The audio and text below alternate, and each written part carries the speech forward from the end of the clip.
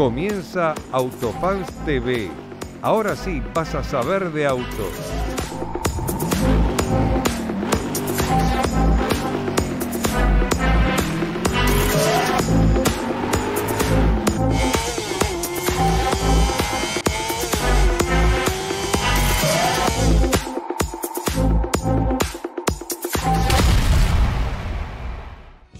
Nuevo programa de Autofans TV. Como todos los sábados a las 21 horas y repeticiones por este su canal Metro, aquí estamos con Autofans TV en su decimosexto aniversario.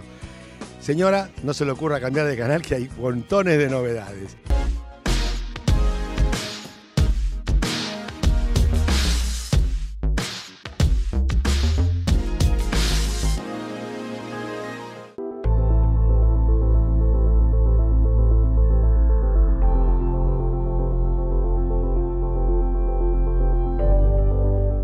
Seguimos probando la línea de Volkswagen y ahora es el turno de la Tiguan All Space 350 TSI 4Motion. La SUV para el segmento D recibió un restyling y ahora es más exclusiva que nunca.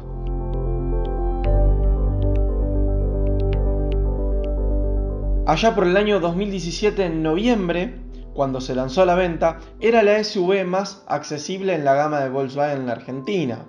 Con Autofans viajamos a Tucumán para poder probarla en una pista abandonada de aviación, de aterrizaje de aviones, digamos.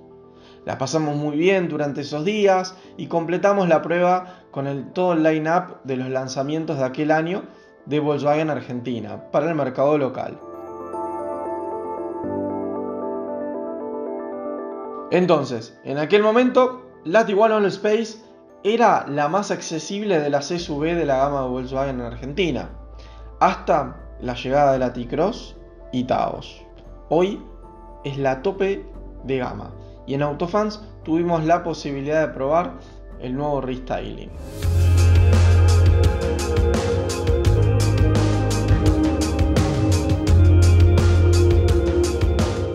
Con la llegada de este modelo, de este rediseño, llegó de la mano de una reorganización de la oferta actual. Ya no hay versiones Trendline, Comfortline ni Highline. La única variante disponible es la Tiguan All Space Live 350 TSI DSG 4Motion. La manejamos una semana y la crítica completa te la contamos a continuación.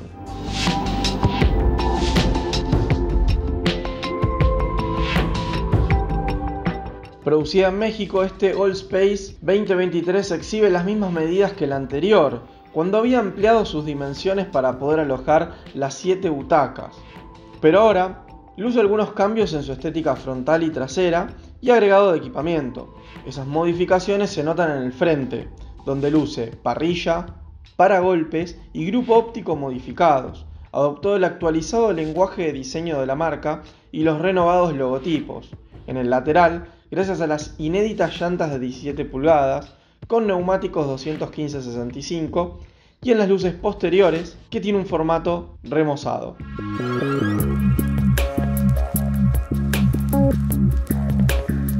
En cuanto al interior, permanece inalterable, con muy buenas terminaciones y materiales, plásticos de tacto suave, mullidos y otros revestimientos sobrios, y un diseño que no es llamativo pero que sí derrocha mucha practicidad y comodidad, bien al estilo de Volkswagen. Como pueden ver, el interior de Volkswagen Tiguan Space estrena nueva pantalla y tablero digital. Al respecto, la posición de manejo es alta y fácil de ajustar, y en las plazas traseras el espacio es más que abundante para tres personas. En la tercera hilera caben dos niños. El baúl tiene un espacio acotado cuando se ocupan todos los asientos, pero se estira hasta 685 litros cuando queda para 5. Ahí las novedades aparecen en el climatizador táctil de tres zonas, el control de velocidad crucero adaptativo, el cargador inalámbrico del celular, un tablero digital configurable a gusto y la flamante pantalla táctil para la central multimedia de 8 pulgadas para el nuevo sistema Discovery Media que es compatible con Android Auto y Apple CarPlay e incluye navegador. Agrega cámaras de retroceso, sensores de estacionamiento delanteros y traseros, sensor de lluvia, encendido y acceso sin llave y más.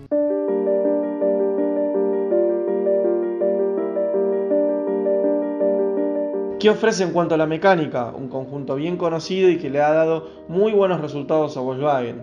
De hecho, es la misma que tiene el Vento GLI o el excepcional Golf GTI. Aparece el conocido propulsor naftero con turbo TSI de 4 cilindros en línea y 16 válvulas, pero en su variante 2.0 de cilindrada, que genera 220 caballos, 4.400 revoluciones por minuto y un par de 35,7 kilogramos desde las 1500 hasta las 4400 revoluciones por minuto, asociado a una transmisión automática DSG de doble embrague y 7 marchas. La tracción es integral 4Motion con bloqueo diferencial electrónico. De marcha siempre fue uno de los puntos más salientes del Tiguan y sigue en la misma línea gracias a sus suspensiones muy bien calibradas para nuestras calles, McPherson adelante y Multilink atrás, a la sobresaliente y sonorización y a la comodidad general que ofrece.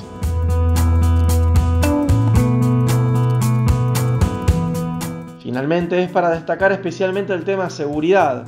Tiene una oferta muy completa, 6 airbags, anclajes ISOFIX, asistente de ascenso y descenso en pendiente, controles de tracción y estabilidad, sistema de bloqueo diferencial electrónico, a lo que suma algunas hadas como el detector de fatiga del conductor, monitor de presión de neumáticos, freno autónomo de emergencia, sistema de detección de peatones y asistencia de luz de carretera Light Assist, entre otros. No por nada había recibido 5 estrellas en las pruebas Latin Cup realizadas en el año 2019.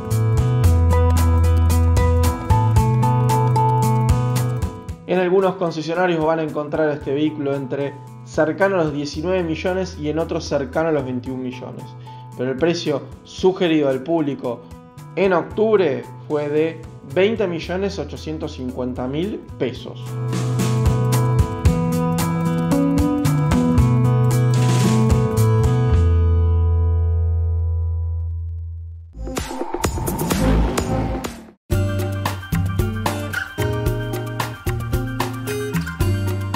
Hoy en Autofans te presentamos el camión eléctrico de Fotón que ya se vende en la Argentina, el e-Aumark.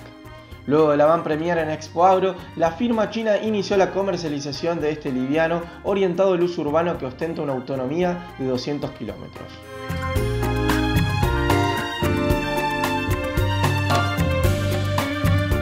La avanzada por la electrificación de los autos y vehículos comerciales empieza a cobrar un impulso en nuestro mercado y Foton acaba de marcar un hito importante con el lanzamiento comercial del e-Hourmark, el camión liviano 100% eléctrico que se convierte en el primero de su clase en arribar a la Argentina. Fabricado en China, el Foton e-Hourmark mide 5,96 metros de largo, 2,06 metros de ancho, 2,26 metros de alto, con una tara de 2,5 toneladas que le confieren una capacidad de carga de 3,5 toneladas. Se sirve de un motor eléctrico de 115 kW, 154 caballos de fuerza y 430 Nm y cuenta con baterías KTL de fosfato de hierro y litio de última generación que según el fabricante aseguran una autonomía de alrededor de 200 km. Los 81 kW de capacidad de las baterías le permiten realizar una carga rápida, con corriente continua y en aproximadamente una hora, mientras que una lenta, con corriente alterna, demora entre 6 y 8 horas. El habitáculo del camión ofrece un sistema multimedia con pantalla táctil, control de velocidad crucero y variados portaobjetos, además de una selectora de cambios circular. En materia de seguridad, este modelo no dispone de airbags. La dotación contempla frenos ABS, control de estabilidad y algunas ayudas a la conducción, tales como frenado autónomo, alerta de colisión y cambio de carril.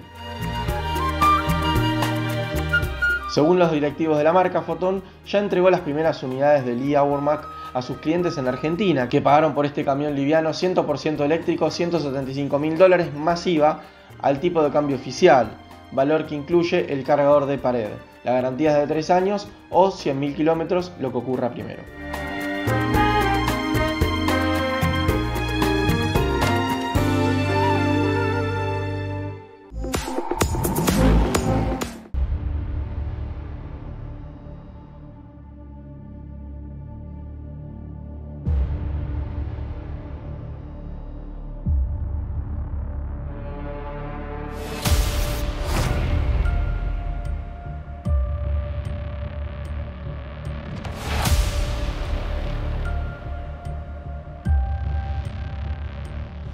Ferrari comenzó a revelar las características de su nuevo superdeportivo de competición, el 296 Challenge, que participará en las series europea y norteamericana de la temporada 2024 del Ferrari Challenge Trofeo Pirelli.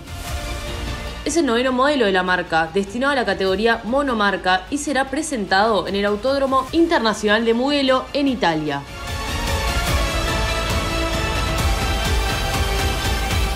El nuevo modelo cuenta con diversas novedades en comparación con el 488 Challenge Evo, al que reemplazará. Además, la automotriz de cabalino rampante informó que cuenta con un diseño revolucionario en algunos aspectos. Basado en el 296 GTB, producido en serie, el 296 Challenge tiene muchas modificaciones, entre ellas una aerodinámica con valores de carga vertical, sin precedentes en la categoría. Por ejemplo, el gran alerón trasero regulable permite superar los 870 kilogramos de carga cuando el auto circula a 250 km por hora. También se destacan las llantas específicas de 19 pulgadas, acompañadas por los exclusivos neumáticos de competición de la marca italiana.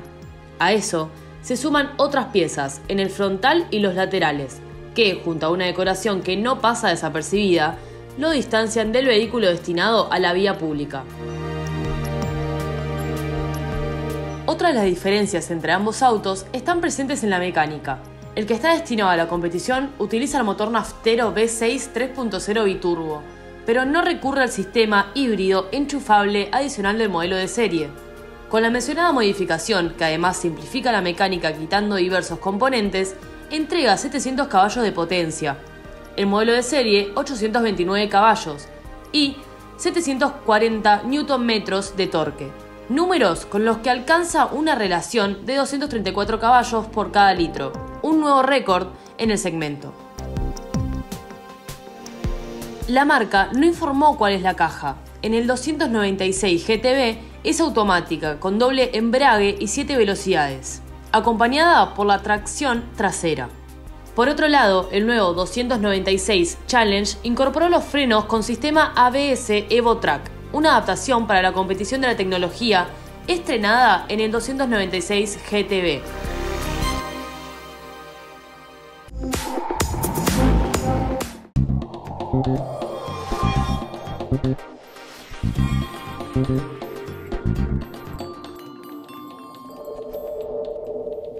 Debía ser un auto, pero fue más lejos y se convirtió en un polo. Un polo deportivo. Un polo económico. Un polo mm, gastronómico. Un polo seguro. Un polo sur. Él llegó para juntar a todo el mundo en un único polo. Nuevo Polo, el nuevo Volkswagen de tu vida. Volkswagen. ¿Te mueve la búsqueda de un futuro mejor? Proteger al planeta y a quienes vivimos en él también nos mueve. Por eso desarrollamos tecnologías sustentables para que puedas moverte como quieras. Toyota, todo lo que te mueve. Femédica, medicina hecha por médicos. Cartilla con libre elección de profesionales. Los más importantes centros de diagnóstico y tratamiento. Cobertura odontológica en urgencias y tratamientos internación, cirugías y terapia intensiva, urgencias clínicas y psiquiátricas, atención domiciliaria, descuentos del 40, 70 y hasta el 100% en medicaciones según el requerimiento. Contamos con nuestros propios consultorios y todas las especialidades requeridas. 0800 333 3308. Gloria, ¿qué es Femédica? Femédica es mi familia.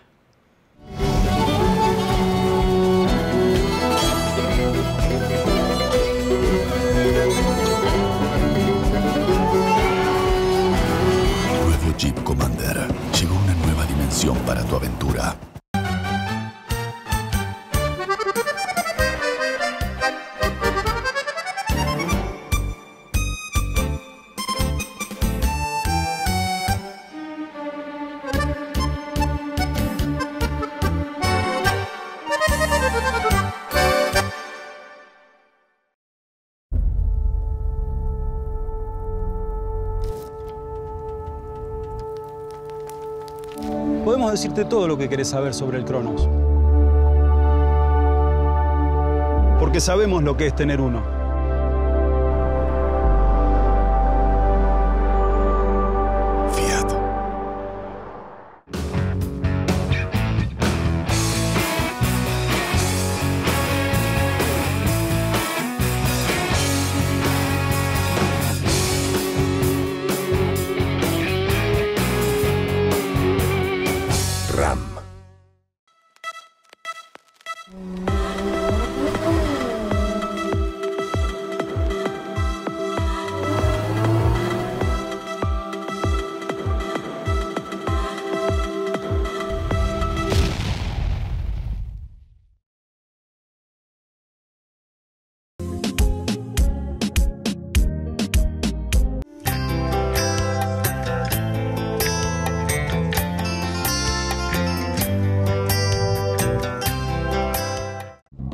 Thank you.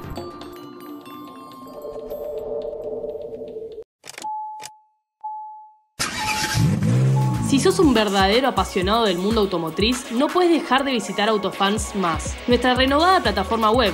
Allí vas a encontrar todo lo último en noticias, reseñas y tendencias de la industria. Y además, hemos renovado nuestro canal de YouTube y nuestras redes sociales, Instagram y Facebook. Todo para ofrecerte contenido exclusivo de manera entretenida y de fácil acceso. No pierdas más tiempo y unite ya a la comunidad Autofans Más. Seguí nuestras redes sociales, suscríbete a nuestro canal de YouTube y visítanos ahora en autofansmas.com.ar para vivir la emoción del mundo de los autos al máximo.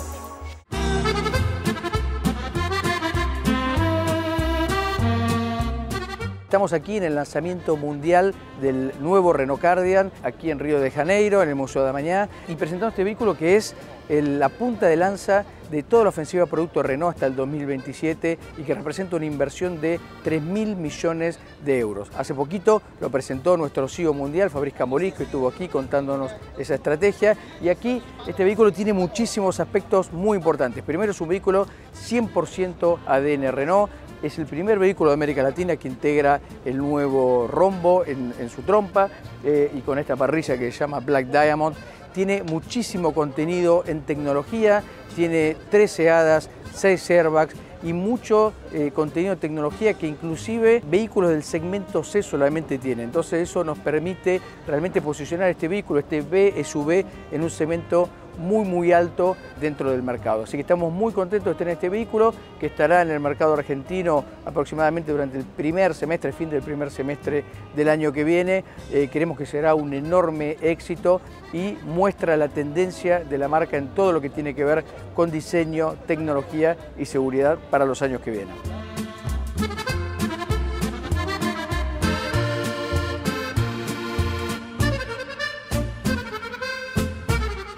Mostramos como la cereza del postre este vehículo que tenemos aquí atrás, el Niagara Concept, un vehículo hecho en la misma plataforma, en esta plataforma que permite muchísimas carrocerías que van desde 4 hasta 5 metros, vamos a decir, con distintos tipos de motorizaciones y con distintas distancias entre ejes. Entonces, este vehículo que nadie se lo esperaba, tan lindo como ven aquí atrás, muestra eh, algunos avances del diseño de lo que será la marca en América Latina en estos ocho vehículos que se van a lanzar hasta el año 2027, no solo en América Latina, sino también en el mundo entero.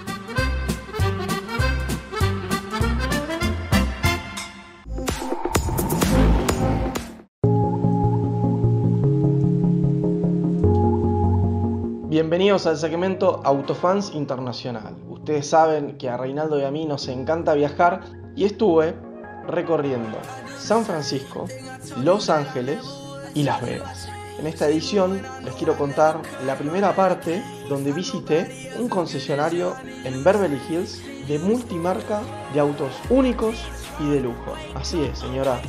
Así que quédense para ver este recorrido donde me trataron, por cierto, muy bien.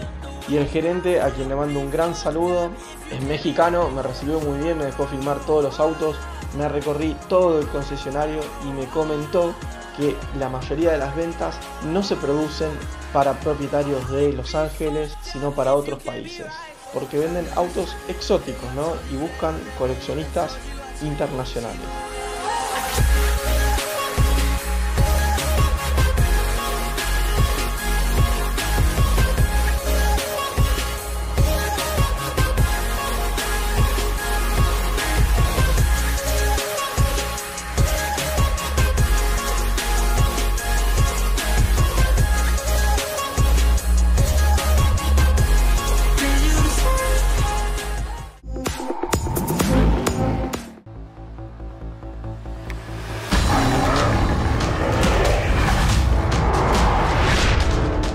Aunque no me lo crean, en Argentina he visto más Lamborghini Urus que en Estados Unidos. Así es, en Argentina comenzaron a patentarse los Lamborghini Urus que ya se encuentran en nuestro país. Los trajo el empresario Malek Fara. Ya se vendieron tres unidades y la primera se matriculó en octubre. Ahora, todos ustedes seguro se preguntan, ¿quién es Malek Fara? Bueno, ahora les voy a contar una parte de su vida y anécdotas del mayor vendedor de autos exóticos de la Argentina. Personalmente yo lo conocí por el famoso car spotter Nico Vaca, quien es un amigo y un referente en las redes sociales de autos exóticos en la Argentina. Voy a contarles quién es Fara. Fara es CEO de Modena Autosport, representante oficial de Maserati en la Argentina y también importador de Ferrari, Rolls Royce y ahora también Lamborghini. Ahora, Malek Farah no comenzó su carrera siendo un empresario de autos exóticos, es piloto profesional y actualmente compite en la categoría Fórmula 4. También pasó por GT 2000, en la cual salió campeón en cuatro ocasiones, y por Sport Prototipo, que tiene dos campeonatos. Para él es habitual tener estos super deportivos que para el resto de nosotros los mortales sería un sueño manejar, aunque sea una sola vez. Hoy Malek es representante particular e independiente de las marcas mencionadas y a partir de octubre vino con una sorpresa. Se patentó el primer Lamborghini Urus de la Argentina. Se trata de la SUV de altas prestaciones fabricada por la célebre marca italiana. En noviembre del 2022 llegaron cuatro Urus a la Argentina. Los trajo, ¿quién? Malek Fara, que también es importador oficial de Maserati. Aunque también trae al país de manera independiente como bien dije, autos de marcas como Lamborghini, Ferrari, Rolls Royce, entre otros. De las cuatro unidades que llegaron al país, Farah ya vendió tres ejemplares. La primera se patentó en octubre y las otras dos se patentarán antes de fin de año. El cuarto ejemplar sigue a la venta. Farah no informó el precio oficial, pero se sabe que rondaría los 800 mil dólares.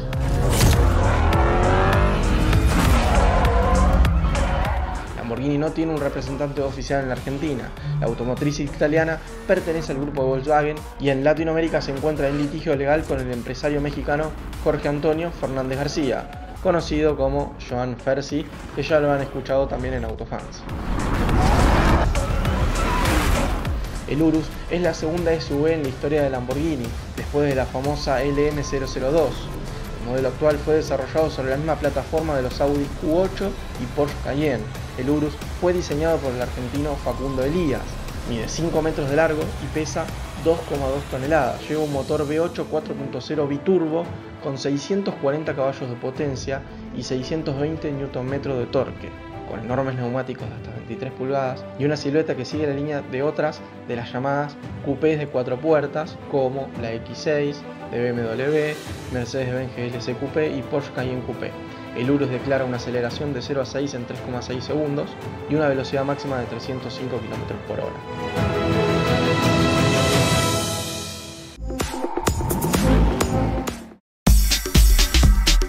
Llegó el nuevo Toyota Corolla. ¿Qué trae y cuánto cuesta? Te lo vamos a contar ahora. El sedán de la marca japonesa renovó el diseño y mejoró el equipamiento de confort y seguridad. El nuevo Corolla actualiza su parrilla delantera en toda la gama con un diseño de tipo panal de abeja, que le aporta más actitud, dinamismo y modernidad a su impronta. Las llantas de 17 pulgadas también adquieren un nuevo diseño en la versión SEC, buscando una mayor sofisticación y elegancia. El nuevo Toyota Corolla ya se vende en los concesionarios argentinos con los siguientes precios. Corolla 2.0 XLI CBT 10 millones 452 mil pesos. La versión 6 también con la caja CBT 10 millones 454 mil pesos. La versión HEV 1.86 y CBT 18 millones 972 mil pesos. El Corolla 2.0 SEG CBT 20 millones 511 mil pesos. El Corolla HEV 1.8 SEG E CBT 21 millones 552 mil pesos, siendo la versión más costosa. Y hay una versión deportiva, la GR Sport 2.0, que también viene con la caja CBT y cuesta 19 millones 503 mil pesos.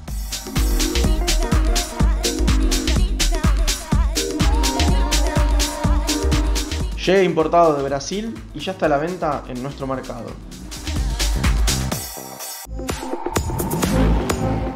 Todo lo que empieza termina y llegamos al final de nuestro programa. Nos vemos en una próxima edición para contarles más noticias sobre autos, motos y camiones en Autofans. Y como siempre digo, pueden entrar a nuestro sitio web todos los días, como también a nuestras redes sociales www.autofans.com.ar y seguirnos semana tras semana en nuestro programa de televisión.